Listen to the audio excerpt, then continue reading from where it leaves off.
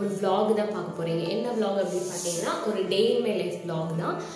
நான் இப்போ எங்கே வந்திருக்கேன் அப்படின்னு பார்த்தீங்கன்னா அம்மா வீட்டுக்கு தான் வந்திருக்கேன். ஸோ அம்மா வந்து ஃபஸ்ட்டு வேக்சினேஷன் போட்டாங்க அந்த கோவிட்காக ஸோ அது பார்த்தீங்க அப்படின்னா நல்ல ஃபீவர் வந்துருச்சு.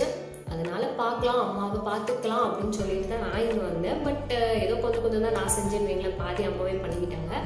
அது வேறு விஷயம். இன்னைக்கு நான் வந்து இன்னைக்கு ஈவினிங் வந்து நான் வீட்டுக்கு கிளம்புறேன். சரி ஓகே இன்னைக்கு டே இன் லைஃப் மாதிரி ஒரு ப்ளாக் எடுக்கலாமே அப்படின்னு சொல்லிட்டு தான் நான் எடுத்தேன். இன்னைக்கு மார்னிங் பிரேக்ஃபாஸ்ட் என்ன பண்ணேன் அப்புறமா லஞ்சுக்கு என்ன பண்ணேன் அப்படிங்கிறதெல்லாம் சும்மா நான் ஒரு வீடியோவாக எடுத்து வச்சிருக்கேன். ஹோப் உங்களுக்கு இந்த வீடியோ பிடிக்கும் அப்படின்னு நான் நம்புறேன். ஸோ இப்படியே இந்த ப்ளாக் வந்து நீங்கள் பாருங்கள் உங்கள் எல்லாத்துக்கும் பிடிக்கும் அப்படின்னு நம்புறேன். வாங்க நம்ம வீடியோக்குள்ள போகலாம் ஸோ நான் பார்த்தீங்கன்னா மார்னிங்லேருந்தே விலாக் எடுக்கலாம் அப்படின்னு சொல்லிட்டு எடுத்துகிட்டு இருந்தேன் மார்னிங் டு ஆஃப்டர்நூன் ரொட்டீன் என்ன பண்ணோம் அப்படின்னு சொல்லிட்டு. ஸோ மார்னிங் எழும்பினதுமே ஃப்ரெஷ் ஆகிட்டு அப்புறமா ஒரு கப் காஃபி குடிக்கலாம் அப்படின்னு சொல்லிட்டு போட்டு எடுத்துகிட்ருக்கேன் ஸோ ஸ்ட்ராங்காக ஒரு கப் காஃபி குடித்தா அந்த டேயே சூப்பராக ஸ்டார்ட் ஆகும். உங்கள் யாருக்கெல்லாம் மார்னிங் காஃபி குடிக்கிறது பிடிக்கும் அப்படின்னு சொல்லி கமெண்டில் சொல்லுங்கள் எனக்கு எப்போவுமே காஃபி வந்து காஃபி ஆர் டீ எதுனாலும் சரி அப்படியே நிறைய ஊற்றி குடிக்கிறதா ரொம்ப பிடிக்கும். ஸோ உங்களுக்கு உங்கள் யாருக்கெல்லாம் அப்படி பிடிக்கும்னு சொல்லுங்கள் அப்புறமா மார்னிங் பிரேக்ஃபாஸ்ட்டுக்கு என்ன பண்ணோம் அப்படின்னு பார்த்தீங்கன்னா கிழங்கு பண்ணலாம் அப்படின்னு சொல்லிட்டு சொன்னாங்க அம்மா. சரி ஓகே அப்படின்ட்டு அம்மா தான் பொடியாக கட் பண்ணி தந்திருந்தாங்க.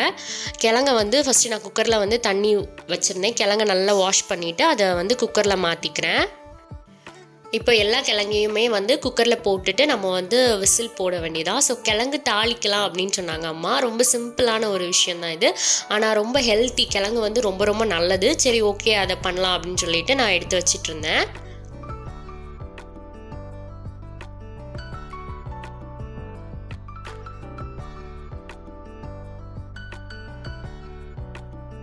ஸோ இப்போ பார்த்தீங்கன்னா குக்கரில் வச்சாச்சு. இப்போ விசில் வந்ததுக்கப்புறமா நம்ம வந்து ஓப்பன் பண்ணி பார்க்கலாம் எப்படி கிழங்கு வந்து வெந்திருக்கு அப்படின்னு சொல்லிட்டு.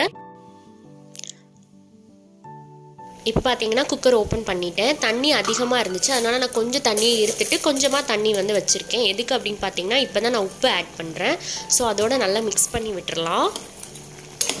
எனக்கு வந்து கிழங்கு வந்து கொஞ்சம் குறைவாக இருந்தால் தான் பிடிக்கும். அதனால நான் வந்து இன்னுமே கொஞ்சம் அந்த தண்ணியில் வந்து குக் ஆகிறதுக்கு விட்டுருக்கேன். உங்களுக்கு வந்து குறைவாக இருக்கிறது பிடிக்காது அப்படின்னு அப்படின்னு தோணுச்சுன்னா நீங்கள் வந்து அப்படியே வடிகட்டு எடுத்துருங்க. ஸோ இதை ஒரு பக்கம் எடுத்து வச்சிடலாம் அப்புறமா தாளிப்பு பண்ணுறதுக்காக ஒரு பெரிய கடாய் எடுத்து வச்சுருக்கேன். ஸோ அதில் வந்து கொஞ்சமாக ஆயில் ஊற்றிக்கலாம்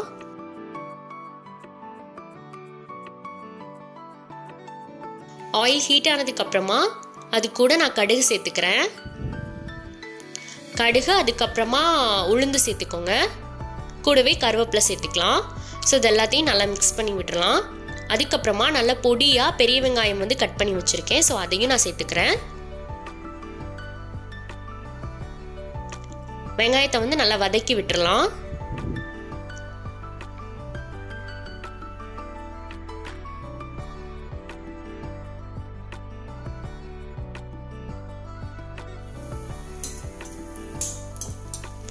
கூடவே பார்த்தீங்க அப்படின்னா நல்ல பொடியாக பச்சை மிளகு வந்து கட் பண்ணி சேர்த்துக்கோங்க. அதுதான் வந்து இதோட காரத்துக்கு சேர்த்துக்கிறது.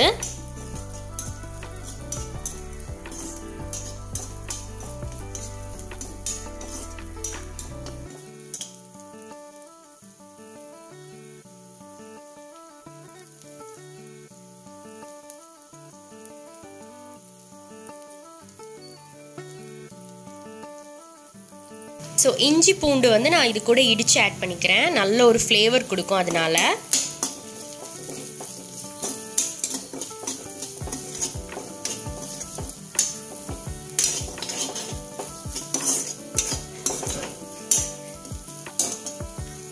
நல்லா வதங்கினதுக்கப்புறமா நம்ம வந்து அந்த கிழங்கையும் வந்து இது கூடவே ஆட் பண்ணிக்கலாம். ஆட் பண்ணிவிட்டு நல்லா மிக்ஸ் பண்ணி விட்டுருங்க.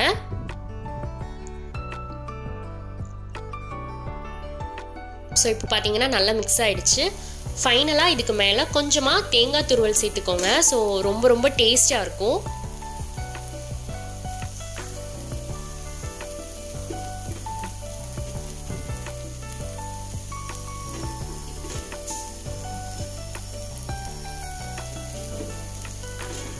இப்போ தேங்காய் ஆட் பண்ணியாச்சு. கூடவே கொஞ்சமாக கொத்தமல்லி ஆட் பண்ணிக்கலாம்.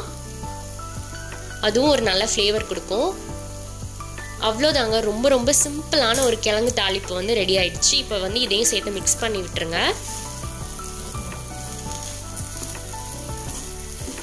நான் வந்து தோசை ஊற்றிட்டு இதை வந்து உள்ளே வச்சுட்டு மசாலா தோசை மாதிரி பண்ண போகிறேன் ஸோ அது வந்து இன்னும் கொஞ்சம் நல்லாயிருக்கும்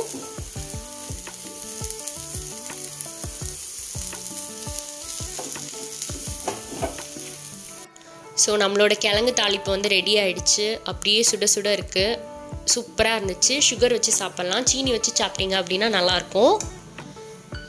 இப்போ வந்து நான் வந்து தோசை ஊற்றிக்க போகிறேன் நான்ஸ்டிக்கில் தோசை ஊற்றுறத விட நீங்கள் வந்து இந்த மாதிரி கல்லில் ஊற்றுனீங்கன்னா தான் தோசை வந்து டேஸ்ட்டாக இருக்கும் அப்படின்னு எனக்கு ஃபீல் ஆகும். ஸோ பர்சனலாக எனக்கு நான்ஸ்டிக் விட இதுதான் எனக்கு ரொம்ப பிடிக்கும். இப்போ தோசை ஊற்றியாச்சு கொஞ்சமாக நல்லெண்ணெய் ஊற்றிக்கலாம் நெய் ஊற்றி தோசை சாப்பிட்றத விட எனக்கு நல்லெண்ணெய் ஊற்றி சாப்பிட்றது தான் ரொம்ப பிடிக்கும். ஸோ ஊற்றிட்டு ஃபுல்லாக வெந்ததுக்கப்புறமா நம்ம வந்து மாற்றி போட்டுக்கலாம். தோசை திருப்புறது அப்படிங்கிறது சம்டைம்ஸ் வரவே வராது. இப்போ பாருங்கள் சக்ஸஸ்ஃபுல்லாக வந்துடுச்சு இப்போ வந்து திரும்பியும் மாற்றி போட்டுட்டு நான் லைட்டாக தான் வேக விட்டேன். இப்போ வந்து நம்ம ஆல்ரெடி பண்ணி வச்சுருந்த அந்த கிழங்கு வந்து உள்ளே வந்து லைட்டாக வச்சிடலாம் ஆக்சுவலி மசாலா தோசை பார்த்தீங்க அப்படின்னா உருளைக்கிழங்கு மசாலா தோசை பண்ணுவாங்க. இது வந்து கிழங்கு தோசை. ஸோ ரொம்ப ரொம்ப நல்லாயிருக்கும். கண்டிப்பாக ட்ரை பண்ணி பாருங்கள் அவ்வளோதாங்க. இதை ஃபோல்ட் பண்ணி விட்டுடலாம் இப்போ நல்லா வந்து அது நல்லா மசிஞ்சு இருக்கிறனால அழகாக ஒட்டிரும். ஸோ வந்து நம்மளோட சூப்பரான கிழங்கு தோசை வந்து ரெடி ஆயிடுச்சு. அவ்வளோதான் இதை நீங்கள் வந்து சட்னியோட சர்வ் பண்ணிக்கலாம். அல்லது மிளகா பொடி கூட வச்சு சாப்பிட்லாம். பொடி கூட வச்சு சாப்பிட்டா கூட ரொம்ப டேஸ்ட்டாக இருக்கும். ஸோ எடுத்தாச்சு. இப்போ வந்து பார்த்தீங்க அப்படின்னா உள்ளே நல்ல ஸ்டஃபிங் கொடுத்துருக்கனால ஒரு ரெண்டு தோசையே பார்த்தீங்க சாப்பிட்டோம் அப்படின்னாலே வயிறு ரொம்ப ஃபுல்லாகிடும் ஸோ நான் வீட்டுக்கு வந்தேன் அப்படின்னாலே டாகி வந்து வீட்டை விட்டு வெளியே போகாது. எப்போவாவது போயிட்டு அடிக்கடி வந்து பார்த்துட்டே இருக்கும். நல்லா தூங்கிட்டு இருக்கு. இப்போ வந்து மத்தியானம் வந்து நம்ம என்ன பண்ண போகிறோம் அப்படின்னு பார்த்தீங்கன்னா ஒரு வெஜிடபிள் பிரிஞ்சு தான் பண்ண போகிறோம் வெஜிடபிள் பிரியாணின்னு வச்சுக்கோங்களேன். இப்போ வந்து நான் அதுக்கு இஞ்சி பூண்டு வந்து இடிச்சுக்கிறேன் ஃபஸ்ட்டு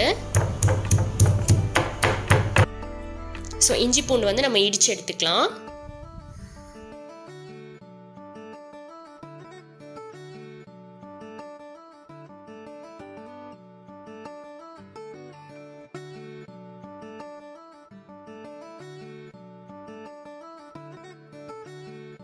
என்னென்ன வெஜிடபிள்ஸ் வேணும் அப்படின்னு பார்த்துடலாம். கொஞ்சமாக முட்டைக்கோஸ் அதுக்கப்புறமா ஒரு உருளைக்கிழங்கு கேரட் பீன்ஸ் இதெல்லாம் கட் பண்ணி வச்சுருக்கேன். அப்புறமா நாலுலேருந்து அஞ்சு பச்சை மிளகாய் கட் பண்ணி வச்சுருக்கேன். பெரிய வெங்காயம் சாப் பண்ணி வச்சுருக்கேன். தக்காளி கட் பண்ணி வச்சுருக்கேன். கொஞ்சமாக புதினா கொத்தமல்லி எடுத்து வச்சுருக்கேன். அப்புறமா நம்ம இடித்து எடுத்துக்கிட்டேன் இஞ்சி பூண்டு. ஸோ இஞ்சி பூண்டு பார்த்திங்கன்னா நார்மலாக நம்ம பேஸ்ட் பண்ணுறதை விட மிக்சியில் கிரைண்ட் பண்ணுறதை விட இடித்து எடுத்தால் தான் நல்லாயிருக்கும் ஃப்ளேவர் இப்போ வந்து நம்ம ஸ்டார்ட் பண்ணிடலாம் வைக்கிறதுக்கு. ஸோ குக்கர் எடுத்து வச்சுட்டு ஆன் பண்ணியாச்சு. அப்புறமா ஆயில் ஊற்றிக்கோங்க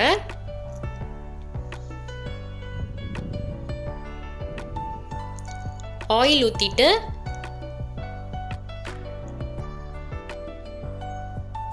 ஆயில் ஹீட் ஆனதுக்கு அப்புறமா கொஞ்சமாக சோம்பு மட்டும் நான் ஆட் பண்ணிக்கிறேன். நான் ஏன் பிரிஞ்சி எல்லாம் அந்த மாதிரி ஐட்டம்ஸ்லாம் போடல அப்படின்னு சொல்கிறேன் சோம்பு மட்டும் ஆட் பண்ணிட்டேன். அப்புறமா பொடியாக சாப் பண்ணி வச்சுருக்கக்கூடிய வெங்காயத்தை வந்து ஆட் பண்ணிக்கலாம்.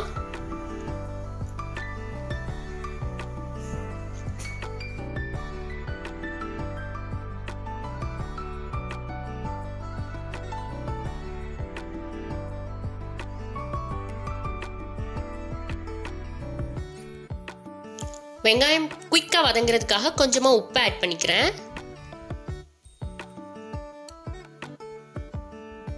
அப்புறமா தக்காளி ஆட் பண்ணிக்கிறேன்.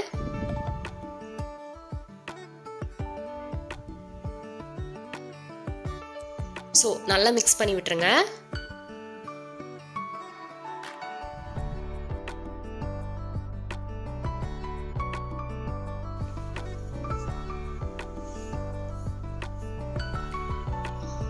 ஸோ இப்போ பார்த்தீங்கன்னா கூடவே நம்ம பொடியாக கட் பண்ணி வச்சுருக்கக்கூடிய அந்த பச்சை மிளகாவும் ஆட் பண்ணிக்கலாம்.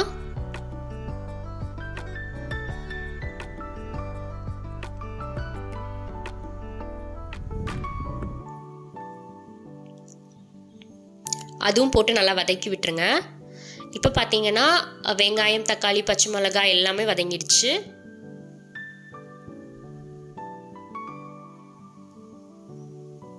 இந்த ஸ்டேஜில் நம்ம இடித்து எடுத்துக்கிட்ட இஞ்சி பூண்டு வந்து ஆட் பண்ணிக்கலாம். இது பார்த்தீங்கன்னா ரொம்ப ரொம்ப சிம்பிளான ஒரு வெஜிடபிள் பிரியாணி தான். ஆனால் டேஸ்ட் ரொம்பவே நல்லா இருந்துச்சு. ஸோ கண்டிப்பாக ட்ரை பண்ணி பாருங்கள் அப்புறமா நம்ம பொடியை கட் பண்ணி வச்சுருக்கக்கூடிய அந்த காய்கறி எல்லாம் சேர்த்துக்கலாம். கொஞ்சமாக முட்டைக்கோஸ் அதுக்கப்புறமா கேரட் உருளைக்கிழங்கு கொஞ்சமாக பீன்ஸ் இதெல்லாம் ஆட் பண்ணிக்கிறேன்.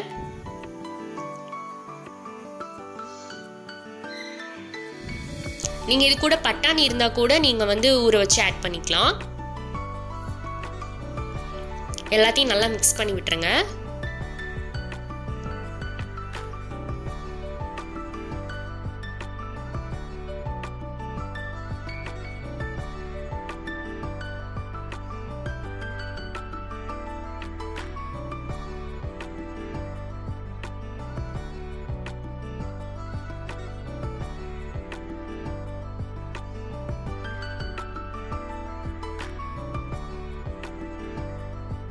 ஸோ இப்போ பார்த்தீங்கன்னா நல்லா மிக்ஸ் பண்ணி விட்டாச்சு. இப்போ பொடி ஐட்டம்ஸ்லாம் ஆட் பண்ணிக்கலாம். என்னென்ன தூள் ஐட்டம்ஸ் போட்டுக்கிறோம் அப்படின்னு பார்த்தீங்கன்னா கொஞ்சமாக பட்டை தூள் அதுக்கப்புறமா சோம்பு தூள்லாம் ஆட் பண்ணிக்கலாம்.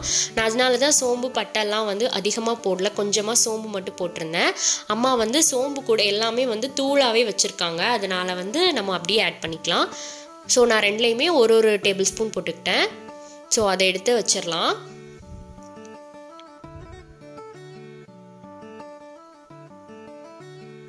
அப்புறமா உங்கள் காரத்துக்கு ஏற்ற மாதிரி கொஞ்சமாக மிளகாத்தூள் ஆட் பண்ணிக்கோங்க.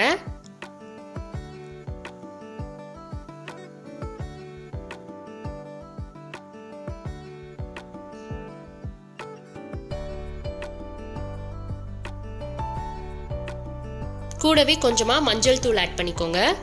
ஸோ இப்போ இதெல்லாம் போட்டு நல்லா மிக்ஸ் பண்ணியாச்சு. அப்புறமா நம்ம ஊற வச்சு எடுத்துக்கிட்ட அரிசி வந்து நான் ஆட் பண்ணிக்கிறேன். நான் வந்து ரெண்டு கப் ரைஸ் போட்டேன். ஸோ அதை வந்து ஃபுல்லாக ஆட் பண்ணிக்கிறேன்.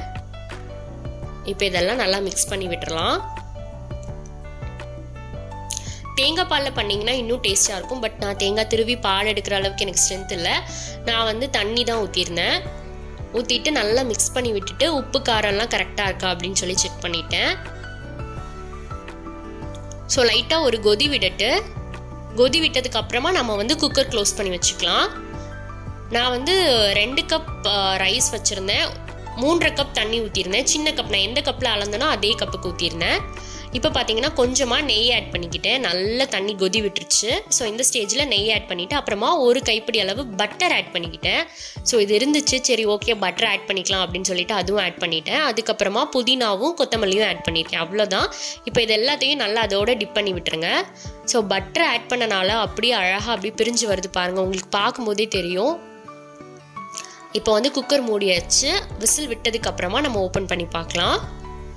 இப்போ விசில் விட்டுருச்சு. ரொம்ப சூப்பராக வந்துருந்துச்சுங்க. அழகாக நல்லா உதிரி உதிரியாக வந்துருந்துச்சு. உங்களுக்கு பார்க்கும்போதே தெரியும்.